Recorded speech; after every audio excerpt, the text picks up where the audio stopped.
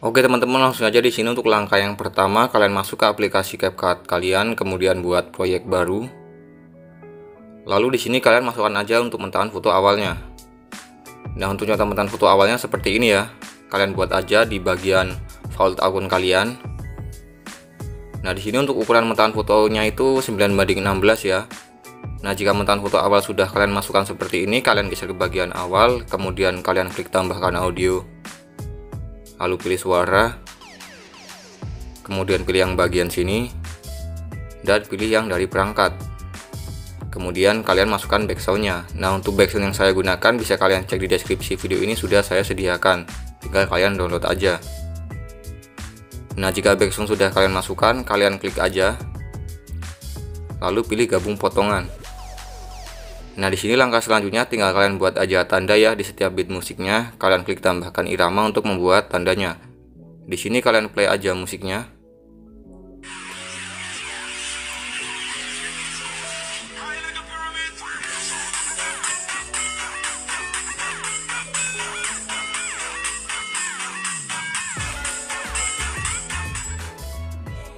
Nah di sini buat yang nggak tahu detik-detik beatnya bisa kalian cek di deskripsi video ini sudah saya sediakan, tinggal kalian download aja. Nah jika tanda beat sudah kalian buat, kalian centang aja. Lalu di sini langkah selanjutnya untuk e, mentahan foto yang pertama ini kalian panjangkan durasinya ya sampai ke bagian tanda bit pertama. Nah seperti ini kalian panjangkan sampai di bagian tanda bit pertama. Jika sudah kalian klik aja icon plus. Lalu kalian masukkan mentahan foto karakter kalian Nah, untuk contoh pentahan fotonya seperti ini ya. Kalian bisa buat versi kalian sendiri. Nah, di sini untuk uh, set karakter kalian itu harus sama dengan mentahan foto awalnya seperti ini ya. Kalian gunakan set uh, di bagian karakternya itu sama dengan mentahan foto awalnya seperti ini. Nah, jika sudah di sini kalian klik aja playhead bagian sini ya. Kalian klik aja. Lalu kalian pilih yang bagian baur satu ya untuk nama efeknya yang ini baur satu Nah jika sudah untuk durasinya kalian atur menjadi 1,5 detik. Jika sudah kalian centang. Lalu di sini langkah selanjutnya untuk mentahan foto yang kedua ini yang mentahan foto karakternya kalian klik. Lalu kalian panjangkan sampai ke bagian akhir durasi backsoundnya. Nah seperti ini. Jika sudah di sini langkah selanjutnya kalian geser ke bagian tanda bit pertama Nah, di sini di bagian tanda bit pertama ya, kalian klik aja metan foto karakternya. Lalu di sini kalian buat aja kunci animasi ya di bagian tanda bit pertama, kalian klik menu bagian sini. Nah, jika kunci animasi sudah kalian buat, di sini langsung aja kalian geser ke bagian tanda bit kedua. Nah, di sini di bagian tanda bit kedua, kalian zoom aja mentahan fotonya ya seperti ini. Kalian zoom sampai garis pinggirnya menempel. Nah, seperti ini. Jika sudah di sini langkah selanjutnya kalian geser ke bagian bawah ya, seperti ini. Kalian geser ke bagian bawahnya sampai mentok ke bawah ya. Nah, seperti ini ya sampai muncul garis putih seperti ini. Jika sudah di sini di bagian tengah-tengah antara keyframe pertama dan kedua sini kalian kasih aja grafik. Lalu pilih yang keluar dua. Nah, jika sudah kalian centang, Lalu di sini langkah selanjutnya kalian geser ke bagian akhir mentahan foto karakternya ya. Nah, di bagian akhirnya sini kalian geser aja mentahan fotonya ya ke bagian atas seperti ini. Sampai ada garis putihnya ya. Nah, seperti ini. Jika sudah di sini langkah selanjutnya tinggal kalian buat aja kunci animasi ya di setiap tanda bit yang belum ada kunci animasinya. Nah, di sini kalian buat aja kunci animasi ya di setiap tanda bitnya sampai di bagian tanda bit terakhir.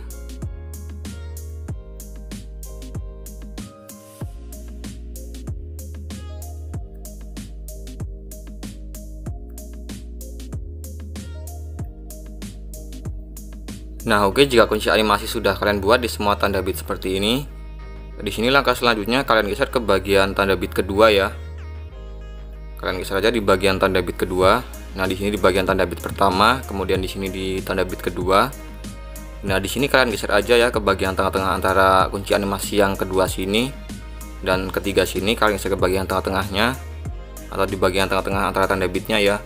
Kalian geser aja mata fotonya sedikit ke bagian sebelah kanan seperti ini. Nah, seperti itu. jika sudah kalian geser ke bagian tengah-tengah antara tanda bit selanjutnya lalu kalian geser mentahan fotonya ke bagian sebelah kiri ya sedikit saja nah seperti ini.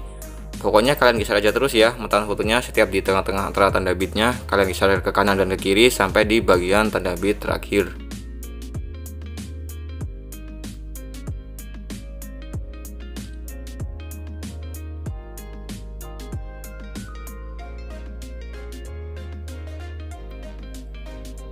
Nah oke jika mentahan foto sudah kalian geser ke kanan dan ke kiri di setiap tengah-tengah antara tanda bitnya seperti ini di sini langkah selanjutnya kalian geser ke bagian tanda bit yang kedua lagi ya. Kalian geser ke bagian tanda bit kedua.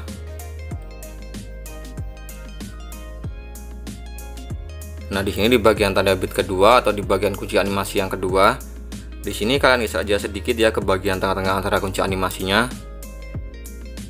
Nah, di sini di bagian tengah-tengah antara kunci animasinya, kalian geser aja menunya. Kemudian kalian kasih grafik, lalu pilih yang keluar satu. Nah, jika sudah, kalian geser ke bagian tengah-tengah antara kunci animasi selanjutnya ya, lalu kasih yang masuk satu. Kalian geser lagi ke bagian tengah-tengah kunci animasi selanjutnya, lalu kalian kasih yang keluar satu.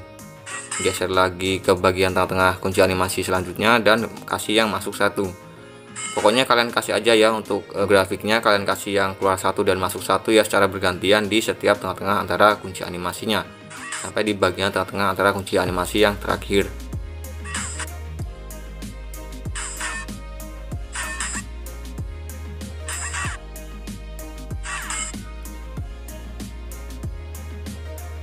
Nah oke jika efek grafik sudah kalian tambahkan otomatis untuk hasil sementara efeknya kurang lebih akan seperti ini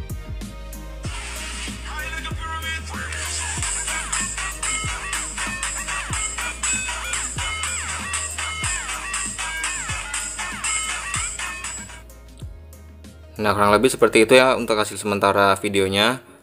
Nah, di sini langkah selanjutnya kalian geser ke bagian awal mentahan videonya. Nah, di bagian awal sini kalian kasih aja efek. Kemudian pilih efek video dan pilih yang ke bagian dasar. Lalu pilih efek yang namanya sudut lebar. Nah, jika sudah kalian centang, lalu di sini untuk efek sudut lebarnya kalian panjangkan ya sampai ke akhir durasi video. Nah, jika sudah di sini kalian bisa ke bagian awal lagi, lalu kasih efek video lagi. Dan pilih yang ke bagian dasar ya. Untuk efeknya kalian pilih yang kamera goyang. Nah, jika sudah kalian centang, lalu di sini untuk efek kamera goyangnya kalian panjangkan juga ya sampai ke akhir durasi video. Nah, jika sudah di sini langkah selanjutnya kalian klik sesuaikan di bagian efek kamera goyangnya. Lalu kalian atur aja untuk bagian rentang menjadi 10 dan kecepatan menjadi 8. Nah, jika sudah kalian centang, lalu di sini langkah selanjutnya kalian geser ke bagian tanda bit kedua ya. Nah, di sini di bagian tanda bit kedua kalian kasih aja efek video. Kemudian pilih efek yang ke bagian dasar. Nah, untuk efeknya kalian kasih yang cermin. Nah, jika sudah kalian centang, lalu di sini untuk efek cerminnya kalian pendekkan ya durasinya sampai di bagian tanda bit berikutnya saja.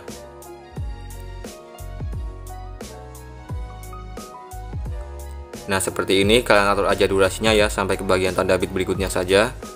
Jika sudah di sini untuk efek cerminnya kalian salin ya, kalian salin. Nah, kemudian untuk efek yang barusan kalian salin kalian pindahkan ya ke bagian sebelah kanan. Kalian lewatkan satu tanda bit ya seperti ini. Nah, seperti ini ya, kalian lewatkan, kalian paskan ke bagian tanda bitnya lalu kalian atur e, durasinya ya paskan dengan tanda bit berikutnya. Nah seperti ini kalian salin lagi. Lalu kalian pindahkan lagi ke bagian sebelah kanan kalian lewatkan satu tanda bit ya.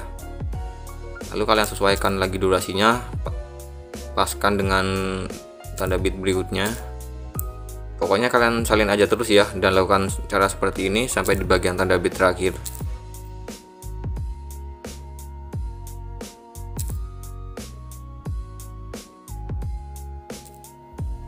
Nah, oke jika efek cermin sudah kalian tambahkan seperti ini, di sini langkah selanjutnya kalian geser lagi ke bagian tanda bit kedua.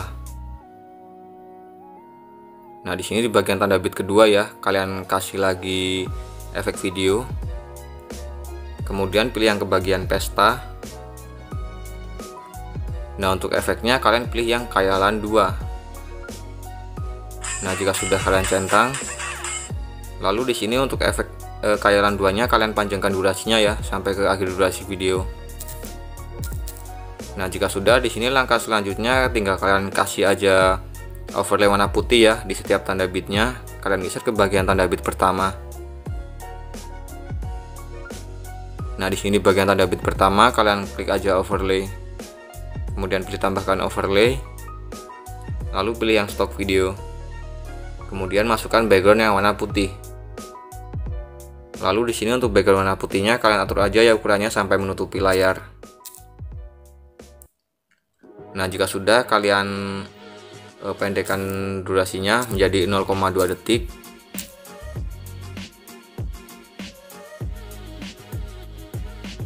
Nah seperti ini 0,2 detik. Jika sudah kalian klik gabungkan. Kemudian pilih yang overlay. Jika sudah kalian centang lalu kalian kasih animasi ya di bagian overlay warna putihnya. Kalian klik animasi. Kemudian pilih yang keluar. Dan pilih yang pudar keluar. Nah jika sudah kalian centang. Lalu di sini untuk overlay warna putihnya ini kalian geser menunya ya. Kemudian pilih yang opasitas. Lalu kalian turunkan menjadi 80 nah jika sudah kalian centang. Lalu di sini langkah selanjutnya tinggal kalian salin aja ya untuk overlay warna putihnya. Kalian salin dan pindahkan ke setiap tanda bit sampai di bagian tanda bit terakhir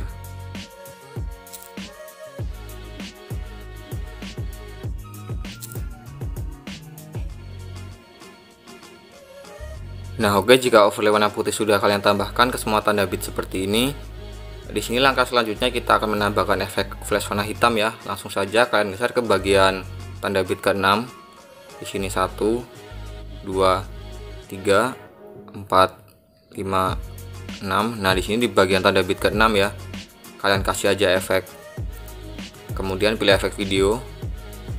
Lalu pilih yang ke bagian pesta. Nah, untuk efeknya kalian pilih yang namanya flash hitam. Nah, ini jika sudah kalian centang lalu di sini untuk efek flash hitamnya kalian pendekkan durasinya ya sampai ke bagian tanda bit berikutnya saja nah seperti ini ya kalian panjangkan atau pendekkan sampai di bagian tanda bit berikutnya saja jika sudah di sini kalian klik aja sesuaikan di bagian efek flash hitamnya lalu kalian atur aja untuk kecepatannya menjadi 100 nah jika sudah kalian centang Lalu di sini untuk efek flash hitamnya kalian salin ya.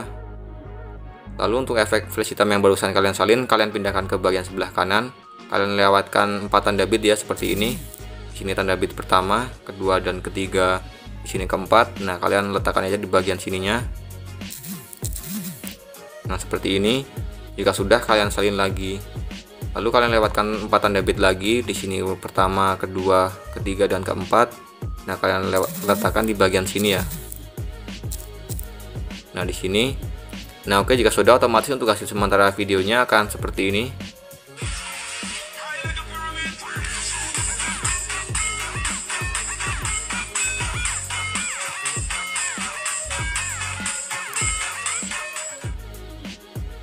Nah, di sini untuk bagian terakhirnya kalian geser lagi ke bagian awal video. Lalu kalian klik bagian metahan foto awalnya. Kemudian kalian kasih animasi. Lalu pilih yang masuk. Nah untuk efeknya kalian pilih yang goyang secara vertikal yang ini. Untuk durasinya kalian pilihkan saja. Nah jika sudah di sini langkah yang terakhir lagi. Kalian klik sesuaikan di bagian awal video sini ya. Kalian klik sesuaikan. Kemudian kalian atur aja untuk bagian kecerahan kalian biarkan saja kalian fokus ke bagian kontras kalian ubah menjadi 20 dan saturasi menjadi 5 lalu untuk petajam kalian atur menjadi full saja Nah, kemudian untuk bagian vignette kalian atur menjadi 25. Nah, jika sudah kalian centang lalu di sini untuk bagian efek sesuaikannya kalian panjangkan sampai ke akhir durasi video. Nah, oke jika semua sudah di sini langkah selanjutnya tinggal kalian simpan aja videonya.